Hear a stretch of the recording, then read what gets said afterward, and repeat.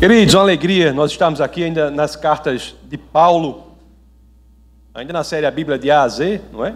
Estamos nas cartas de Paulo e hoje vamos entrar na carta a, a, a Éfeso, carta de Efésios, e tratar sobre um tema que é um tema bastante curioso, relevante nos dias de hoje, e que honestamente é um tema que todos temos de enfrentar é, será que preciso mesmo de igreja? Será que eu preciso de igreja? Temos que enfrentar isso honestamente. Será que não basta assim que eu seja um adorador, que eu da minha casa eu adore a Deus? Será que não seria suficiente eu viver uma vida cristã lá em casa? Será que isso não é o suficiente, não, hein? Será que o que Deus quer de mim não é apenas que eu seja um cristão verdadeiro, nem que eu seja um cristão verdadeiro desigrejado? Será? Uma coisa eu sei. Essa questão deve ser pensada de forma sincera, de forma honesta. É um fenômeno, inclusive, que tem ocorrido, né? Hoje em dia, é um fenômeno muito forte. Aliás, se você pegar o censo do ano de 2000 e comparar com o censo do ano de 2010, você vai ver que no ano de 2000 havia quase um milhão de cristãos que se declaravam sem denominação. Em 2010 esse número chega a quase 10 milhões. Se nós considerarmos isso um movimento, é o movimento evangélico que mais cresce no país. Movimento evangélico, dois desigrejados, daquelas pessoas que se dizem cristãs, mas que não querem igreja. Eu tenho certeza, inclusive, que vocês, assim como eu, conhecem alguém nessa situação. Pessoa que se diz cristã, mas diz: Eu não quero igreja, não. Mas nós devemos analisar isso, conforme eu disse, de forma honesta. É uma pergunta real. É uma pergunta real, é uma pergunta que eu me fiz muitas vezes. O que é que há na igreja de Deus que a torna tão importante a ponto de nós acharmos entendermos que é vontade do Senhor que nós nos envolvamos com a igreja. Eu posso até pensar em algumas razões assim iniciais, mas logo eu vejo que talvez não seja isso. Por exemplo, eu posso dizer assim: eu devo me envolver na igreja porque é pela igreja que eu vou tornar Jesus Cristo mais conhecido para aqueles que ainda não o conhecem. Ou seja, é na igreja que eu vou fazer evangelismo. Mas essa resposta não é muito convincente, não. Eu posso tornar Jesus Cristo mais conhecido para aqueles que ainda não o conhecem fora da igreja. Aliás, eu devo fazer isso. No meu relacionamento, nos meus relacionamentos profissionais, familiares, com amigos, é tarefa de cada um aqui tornar Jesus Cristo mais conhecido. Então, a igreja, embora seja algo importantíssima, importantíssimo para o evangelismo, não é algo sem a qual o evangelismo não possa ser feito. Aí eu posso pensar: será que eu preciso da igreja para que eu possa louvar ao Senhor? Bom, na igreja nós louvamos ao Senhor e experienciamos aqui um louvor fabuloso, magnífico, voltado para Deus. Pessoas com o coração voltado para o Senhor, e isso realmente é uma experiência muito importante, uma dimensão importantíssima da igreja. Mas se eu disser para vocês que a razão de ser da igreja é louvar o Senhor, eu estou pensando de maneira muito estreita, porque eu sei que nós podemos reunir, não é, uns dois ou três amigos na nossa casa, com um violão e uma pizza morna, e fazer uma verdadeira reunião de adoração a Deus. Não é verdade? Aliás, essas reuniões servem até para ter algum tipo de comunhão, não é? Com os irmãos. E para que, que serve a igreja? Para que, que serve a igreja? Tem algumas denominações que, de maneira, a meu sentir, absolutamente equivocada, dizem que a igreja é essencial para a salvação. Aí, aquele exemplo do ladrão na cruz que eu sempre trago, porque ele é um exemplo que bota muita doutrina errada abaixo, viu? Aquele exemplo do ladrão na, na cruz, eu estou sempre falando porque aquele exemplo, como diz lá em nós, é para torar. É para torar. O ladrão, não é? Que nada oferecer a Deus, como eu sempre digo, era um ladrão, não poderia fazer boas obras porque suas mãos estavam pregadas na cruz, não poderia caminhar nos caminhos, né, na, nas veredas da justiça, porque seus pés estavam pregados à cruz, não poderia fazer curso bíblico, não é? Não poderia nem se batizar, não tinha tempo de fazer nada. E o que, quando ele deu o coração ao Senhor ali, disse assim: lembre-se de mim no paraíso, a resposta foi imediata: Você estará comigo, né? Você estará no paraíso. Aquele ladrão havia tomado o café da manhã com o diabo e iria jantar com Deus, sem nunca ter sequer botado os pés na igreja. Então, igreja não é algo necessário para salvação. Aí você pode dizer, então a igreja é importante porque é lá que nós iremos verdadeiramente experienciar um ambiente, um ambiente santo, um ambiente correto. Olha, bem que deveria ser assim mesmo, né? A, a nossa luta aqui é, você não tem noção, a mim e de tanta gente nessa igreja aqui é para que isso aconteça mesmo, né? Que a igreja seja um ambiente santo, seja um ambiente correto. Mas eu posso dizer a você que isso é 100%? Eu não posso. Infelizmente, não posso dizer que isso é um ambiente que 100% é assim, né? Nem 100%, não, não, não são 100% dos que frequentam a igreja que estão nessa caminhada da santidade, não é mesmo? Estamos na expectativa de que todos tenham essa noção e, de fato, enveredem por essa empreitada, por esta missão, mas isso não acontece em 100% dos casos. Nem hoje, nem antigamente. As cartas de Paulo nos revelam isso. Se nós olharmos para a igreja primitiva, meus queridos, pense numa esculhambação. Tinha gente com todo o problema de santidade, não é? O que, é que as cartas dizem? Pessoas com problema de egoísmo, de autoritarismo, pessoas com problema de abuso de poder, que nós vemos tanto hoje, abuso de poder religioso, por exemplo, é um fenômeno recente Pastores usando-se da igreja para promover candidato A, candidato B, candidato C. Isso é um abuso de poder religioso. Aqui nós só promovemos um candidato. Vocês sabem qual é já, né? JC. J JC. JC é o único candidato que nós promovemos aqui. E um abuso de poder já havia lá também. Roubo, desvio de dinheiro, orgulho, imoralidade sexual. Tudo isso está na igreja primitiva. Então, o que acontece hoje na vida de muitos que frequentam a igreja também acontecia lá antigamente. Olha, não é por outra razão as escrituras, sábias como são, a expressão da verdade primeira como elas são, já deixa bastante claro, né, que não é o fato de você estar na igreja que faz com que você seja salvo, não é o fato de você ser pastor que faz com que você seja salvo, nada disso. Lá no Evangelho de São Mateus, capítulo 7, versos 22 a 23, tem a famosa passagem que diz, né? Que chegará o dia que alguém dirá assim: Senhor, Senhor, não profetizamos em teu nome, em teu nome não expulsamos demônios e não realizamos muitos milagres. Então eu lhes direi claramente: Jesus dirá claramente a algumas pessoas: Nunca os conheci, afastem-se de mim, vocês que praticam o mal. Então a igreja, está na igreja, não necessariamente faz isso. Mas e então? E agora? E agora? Por que, que precisamos de igreja? Olha, uma coisa, as escrituras falam sobre igreja, e por ela, ela por si só, seria suficiente para a gente dar um valor especial à igreja. Isso é uma coisa importante, mas eu vou falar depois Vou falar sobre isso e depois vou falar sobre outra coisa que é absolutamente impressionante e surpreendente. Mas essa primeira razão que eu vou dar agora é uma razão que já seria suficiente para nós não olharmos para a igreja de forma desrespeitosa, não olharmos para a igreja santa de uma forma não boa, não com o coração tendente a gostar dela.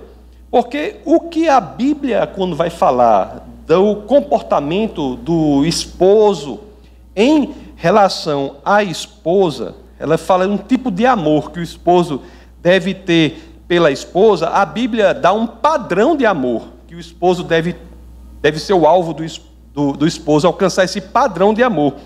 E esse padrão de amor é o amor de Cristo pela igreja.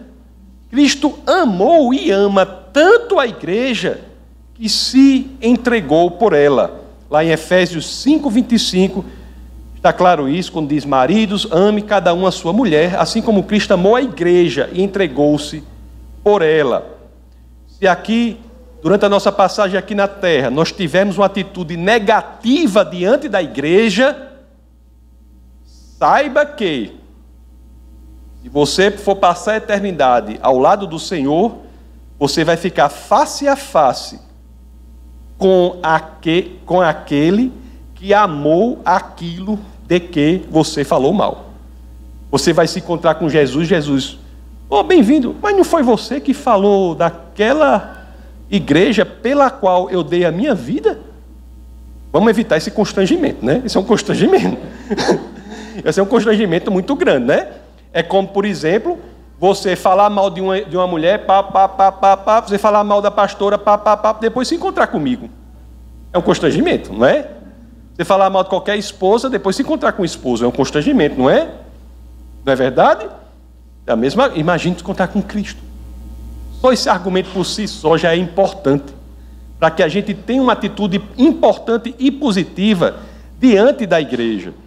Mas o que eu quero enfatizar aqui hoje não é este motivo. Embora este motivo, repito, seja suficiente para que nós tenhamos cautela em falar mal da igreja. Cautela em falar algo que vá depreciar a igreja santa. Porque estaremos falando daquele por quem, daquela por quem o nosso Senhor e Salvador morreu. Daquela por quem o amor de Cristo é exemplo de amor perfeito. Mas o que eu quero falar aqui é outra coisa. E isso, para mim, é surpreendente. É algo absolutamente surpreendente. Quando você lê isso nas Escrituras, você tem um susto. Tem um susto. Você deve ler naquelas poltronas que tem proteções laterais para que você não caia rolando no chão, de tão impressionante que é. E é por isso que eu peço a vocês que, se assim desejarem, abram as Escrituras no livro de Efésios, capítulo 3. O texto base do nosso bate-papo de hoje são os versos 10 a 11, mas eu irei ler o 8, depois o 10 e o 11. Então, Efésios 3, 8. Vamos entender isso e ver o quão impressionante é a igreja. Olha o que Paulo está dizendo aqui, Efésios 3, 8. Embora eu seja o menor dos menores de todos os santos, foi-me concedida esta graça de anunciar aos gentios as insondáveis riquezas de Cristo. Agora nós vamos para o verso 10. E veja que ele recebeu, Paulo dizendo, olha, que foi concedida a ele uma graça. Nós vamos ver agora que essa graça tem uma intenção, tem um propósito. Vamos ver o verso 10 a intenção dessa graça era que agora, mediante a igreja, a multiforme sabedoria de Deus se tornasse conhecida dos poderes e autoridades nas regiões celestiais, de acordo com o seu eterno plano que ele realizou em Cristo Jesus, nosso Senhor.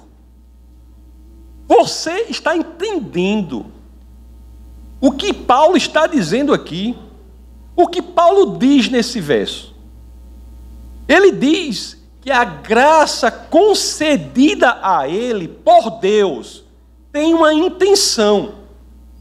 Qual é a intenção da graça concedida a ele por Deus? O verso diz que é tornar conhecida dos poderes e autoridades nas regiões celestiais. Quem são os poderes e autoridades nas regiões celestiais? São os anjos e os demônios.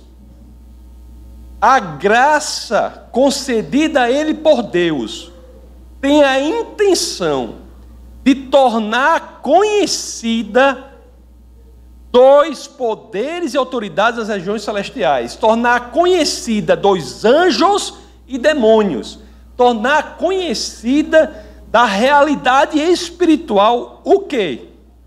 A multiforme sabedoria de Deus.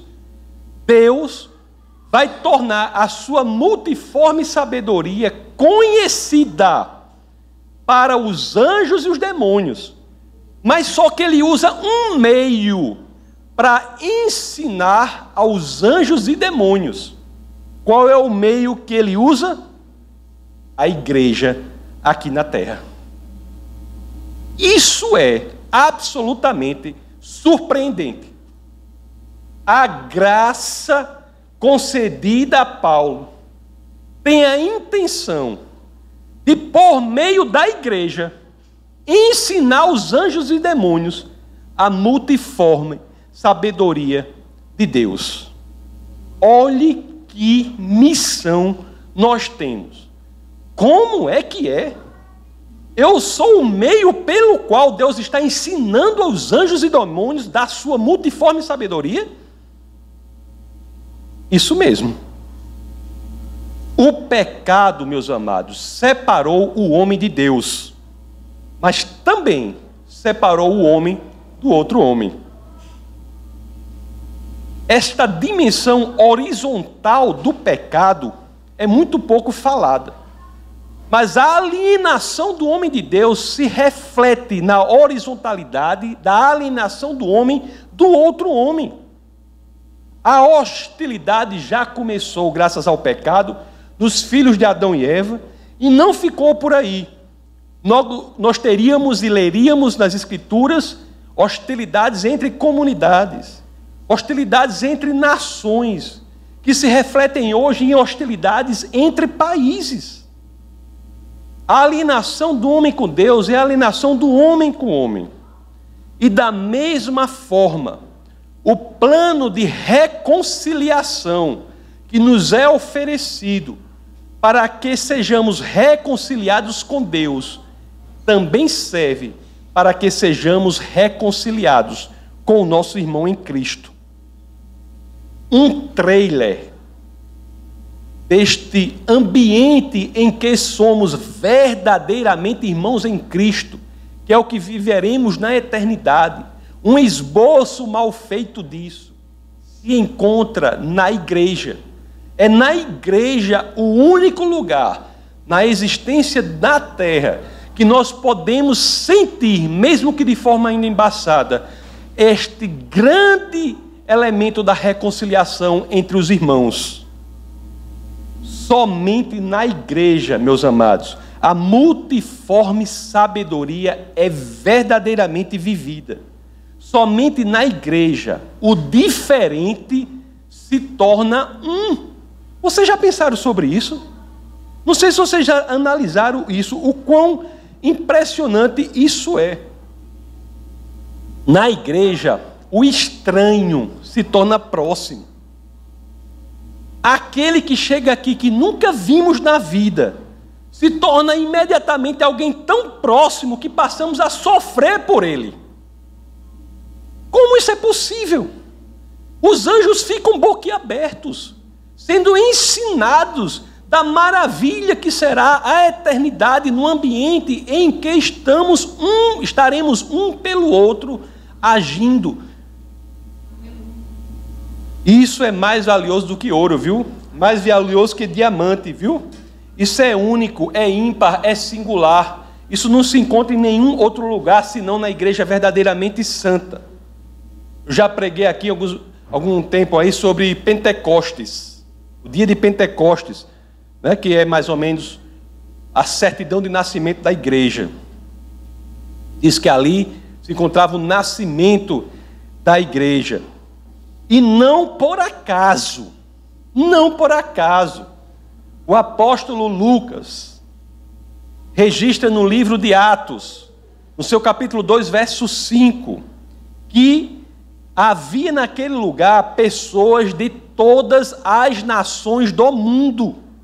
As escrituras dizem: havia em Jerusalém judeus tementes a Deus, vindos de todas as nações do mundo. Pela primeira vez, meus amados, depois da queda, pela primeira vez depois da queda, o diferente encontrou a verdadeira unidade.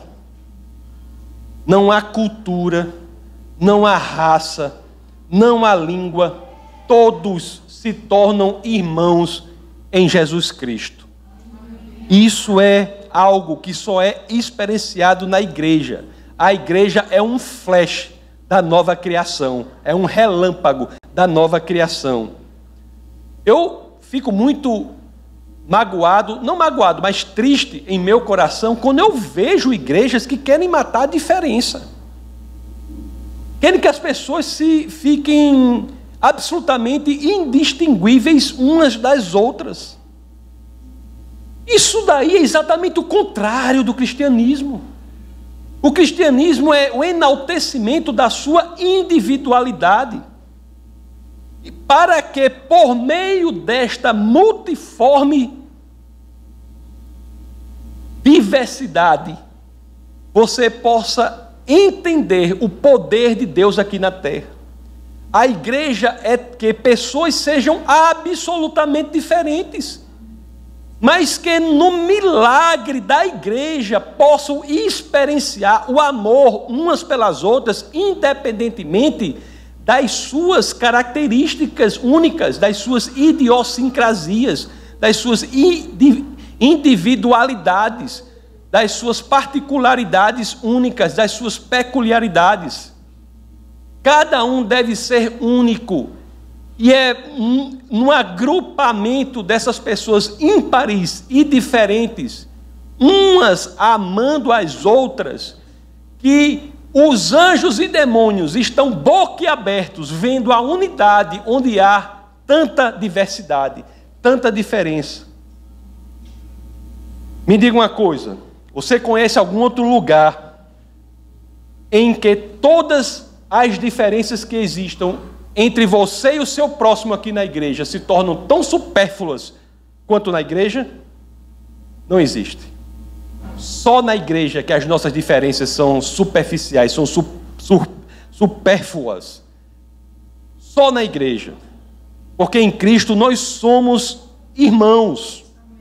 Você já notou que um cristão aqui em Natal cristão, qualquer um daqui da gente de Natal, tem muito mais a ver com um cristão da África, da Ásia, do Oriente Médio, do que com um vizinho da sua rua que não é cristão? Já pensou sobre isso? Se você encontrar um verdadeiro, não estou falando do hipócrita, não. Se você encontrar um cristão genuíno, seja árabe, judeu ou seja lá o que for,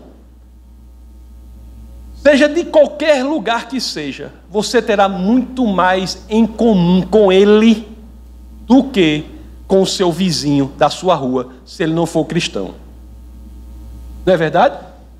Ou não? Nós temos aqui Sara. Vem cá, Sara. Come here. Yeah, come over here.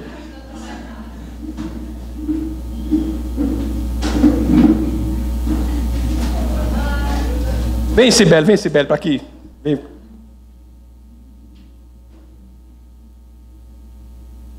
Sara chegou aqui faz quanto tempo? Missionária, chegou aqui faz uma semana. É. You got here over a week ago, right? Ela chegou uma semana here, aqui. Ela chegou uma semana aqui. Ela chegou faz uma semana aqui. Cibele nasceu e foi criada aqui em Natal. She was born and raised here. Elas têm mais em comum por serem cristãs. You have more in common just because you guys are Christian do que Sara e uma vizinha dela lá no estado dela de Ohio que não é cristão, que não é cristã. Then you in a neighbor in Ohio that is not a Christian.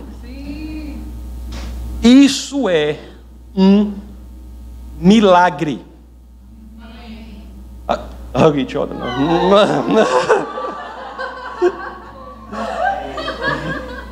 obrigado, obrigado. Você pegue uma missionária de Ohio, pode ser da África, do Japão, da Ásia, de qualquer lugar, chega aqui, ela se sente irmã, acolhida, porque nós somos cristãos e ela é cristã. Você já notou que isso deixa os anjos e os demônios impressionados e boquiabertos sem entender nada disso? Já pensaram sobre isso? Dois cristãos, um sendo multimilionário, como é o caso de John Hagai, que eu tive com ele, multimilionário, e outro sendo alguém com bastante, bastante dificuldade financeira. Esse multimilionário cristão tem muito mais em comum, se sente muito melhor em passar o tempo com aquele que tem dificuldade financeira, que é cristão, do que com outro multimilionário que não é cristão. Um professor de cosmologia da universidade sente muito mais prazer em passar o seu tempo, tem muito mais a ver com alguém que não terminou o primeiro grau, que hoje até outro nome, né? Como é ensino o quê? Ensino, ensino, que não terminou o ensino médio? Fundamental. Que não terminou o ensino fundamental, se sente muito, sente muito mais prazer em passar o tempo com a, pessoa que não terminou o ensino fundamental do que com outro vizinho, professor dele, especialista em cosmologia também, mas que não é cristão. Vocês já pensaram isso? Vocês já pensaram isso? E não é isso que a Bíblia diz, não. Há passagens na Bíblia que são incríveis nesse sentido. O próprio livro de Gálatas, capítulo 3, verso 28. Não há judeu nem grego, escravo nem livre, homem nem mulher, pois todos são um em Cristo Jesus. Colossenses 3:11 Nesta nova vida já não há diferença entre grego e judeu, circunciso e incircunciso, bárbaro e cita, escravo e livre, mas Cristo é tudo e está em todos. Cita é uma região acima do, do Mar Negro e não eram, era de não romanos. Não fazia parte do Império Romano. Nós somos um corpo, meus amados. E isso, este fenômeno espetacular e único, só é experienciado aqui na igreja do Senhor. Primeira carta aos Coríntios, capítulo 12, 13 pois em um só corpo todos nós fomos batizados em um único Espírito, quer judeus, quer gregos, quer escravos, quer livres, e a todos nós foi dado beber de um único Espírito.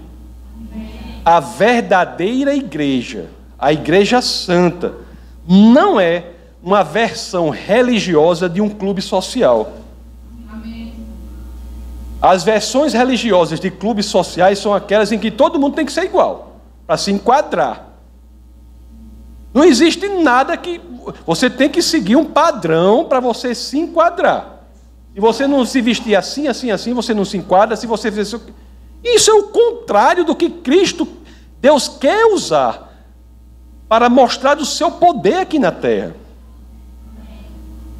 Não é incrível isso? Não é impressionante, não?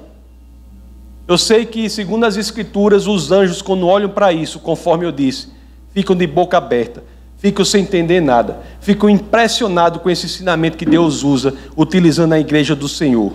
Só Deus, na igreja, meus amados, é capaz de fazer isso. Então, é por isso que eu acho que precisamos sim da igreja. Precisamos sim da igreja, sabe? Que nós possamos verdadeiramente olhar com a igreja, com isso na mente, para que nossos olhos brilhem. Você está sendo algo usado pelo Senhor para ensinar aos, a, a realidade espiritual do poder de Deus, do que será a eternidade. Que nossos olhos brilhem, que nós possamos nos maravilhar com este milagre que possamos entender que na igreja nós sim, nós temos um propósito. A igreja é algo de que devemos cuidar com muito carinho. Devemos nos dedicar à igreja. Porque é isso que está informando ao mundo algo que só Deus pode fazer. É na igreja santa que nós temos uma ideia do estilo de vida que teremos no céu. Por isso precisamos da igreja. Por isso devemos amar a igreja. Porque a igreja, em última instância, ela nada mais faz do que glorifica a Deus. A igreja na terra dá glórias ao Senhor pelo poder miraculoso dele na nossa vida, em fazer com que as diferenças desapareçam, nós consigamos amar uns aos outros em suas individualidades. Temos de orar, meus amados, e trabalhar na igreja. Temos de nos envolver pelo projeto da igreja do Senhor. É algo que é essencial para que o mundo veja o que Deus quer fazer conosco na eternidade. Eu gostaria de terminar com a oração que Paulo faz. Paulo faz oração pelos santos. Oração um pouco longa, mas é Efésios 3. Queria ler do 14 ao 20. Essa ideia da igreja. Eu quero terminar com essa oração que Paulo faz para que a gente possa ser impregnado em nosso coração da importância da igreja do Senhor e que tenhamos essa tarefa levada a sério. Olhe só o que Paulo diz, e é essa oração de Paulo com ela que nós vamos terminar. Assim dizem as Escrituras. Vamos ler o livro de Efésios, capítulo 3, 14 a 20. Olhe só. São Paulo falando. Abre aspas. Ajoelho-me diante do Pai, do qual recebe o nome toda a família nos céus e na terra. Oro para que, com as suas gloriosas riquezas, Ele nos fortaleça no, fortaleça no íntimo do seu ser, com poder, por meio do seu Espírito, para que Cristo habite no coração de vocês mediante a fé. E oro para que, estando arraigados e alicerçados em amor, vocês possam, juntamente com todos os santos, compreender a largura, o comprimento, a altura e a profundidade, e conhecer o amor de Cristo que excede todo conhecimento para que vocês sejam cheios de toda a plenitude de Deus. Aquele que é capaz de fazer infinitamente mais do que tudo o que pedimos ou pensamos, de acordo com o seu poder que atua em nós. A Ele seja a glória na igreja e em Cristo Jesus, por todas as gerações, para o todo sempre. Amém que abramos os nossos olhos e nossos corações e não passemos a vida aqui vivendo sem experienciar o que há de mais maravilhoso que o cristão pode experienciar aqui na terra, que é o envolvimento na igreja, para que tenhamos ideia da maravilha que será a nossa existência na eternidade. É no nome de Jesus que, com o coração cheio de amor pela igreja, nós dizemos amém.